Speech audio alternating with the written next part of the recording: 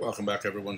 Sheepdog Smokey here, and Warren Wilhelm Jr., more commonly known as Bill de Blasio, has officially stated, after spending God only knows how much to send hundreds and hundreds of meals to Muslims during Ramadan, while ignoring that a group of Muslims is squatting in a Catholic church and holding prayer services and, and God only knows what else.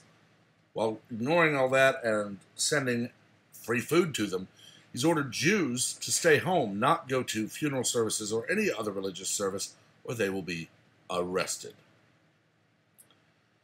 It's it's never really surprising to me that Democrats can do this kind of thing because in their mind they actually see nothing wrong with appeasing a group that wants us dead and subjugating a group that actually does have the right to gather for religious reasons. Kentucky sent cops to ticket people and take down license plate numbers because of a drive up church service. They weren't sitting in the sanctuary, they weren't standing shoulder to shoulder. They were sitting in their cars as families, listening to a service on the radio. I'm personally surprised that drive in movie theaters did not protest the shutdown. They could have easily shut down concessions and said, We're just going to show the movie. People will be told not to get out of their cars unless they're going to the restroom or even go to the restroom early. They will be in their car, not sitting together, not close.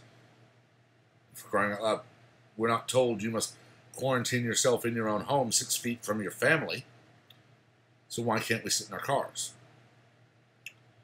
I understand what he is saying and his twisted logic that the order of six feet apart, no more than 10, blah, blah, blah. You see, there's that pesky First Amendment.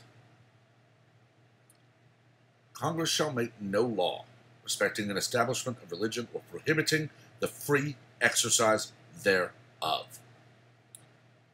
When he actually says that it is illegal to gather for religious services, that is a blatant violation of the First Amendment. I would personally, were I in New York, defy him. I would probably end up representing myself and then asking the judge, uh, Your Honor, why did he send meals to Muslims during Ramadan and why is he ignoring a group squatting in a Catholic church holding their services? But I can't exercise my First Amendment rights. And when I'm acquitted, sue him for everything he's worth. From prince to pauper. I would absolutely love to see a penniless de Blasio crying in the media about how he was targeted and punished for just trying to help. When it's convenient, everything is my body, my choice, my body, my choice, my body, my choice. But when it's also convenient, it is you will obey me from liberals. I really do hope that the people of New York City wake up to the fact that Bill de Blasio, Warren Wilhelm Jr., is a tyrant who should be removed from office either by recall or being voted out, and he should be shunned. Andrew Cuomo is the same. Jay Inslee, Gretchen Whitmer, Gavin Newsom, Pelosi, Schumer, Feinstein, Waters, Booker, Harris, AOC, Tlaib, Omar, all of them. They are showing their true colors, that they care nothing for the Constitution, nothing for the rights of the citizens, nothing for actually representing the people that they are elected to represent.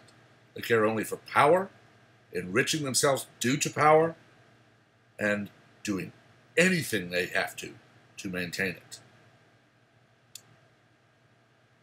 Do I think that will happen? No.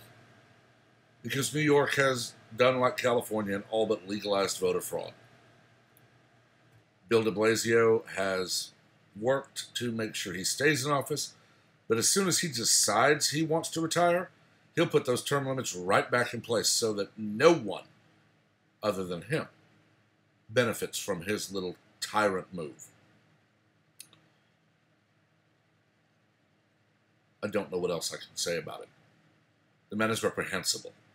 He is an imbecile of the highest order. And in my mind, he should be forcibly removed from office and charged with violating the constitutional rights of New York City residents and citizens. But unfortunately, he, like most Democrats, has judges in his pocket beholden to him for anything and everything he can get on them. So he'll likely never face any repercussions for his tyranny. I don't know. Let me know what you think. As always, be civil. If de Blasio or any of the others I named show up, I'll be blunt, but I won't be vulgar. The rest of us, we are logical, civil adults. We can dissent, discuss, and debate like adults. And that is what I require here. I don't say you have to believe it the same way I do. You don't have to agree. You just have to agree that everyone has the right to their opinion, and we will be civil when discussing those.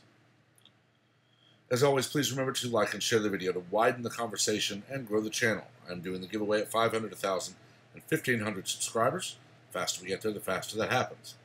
So make sure you subscribe and turn on notifications so that you are, pardon me, aware of all content as it posts and part of the crowd for the giveaway. Until next time, be safe, smart, and healthy, and everyone have a wonderful day.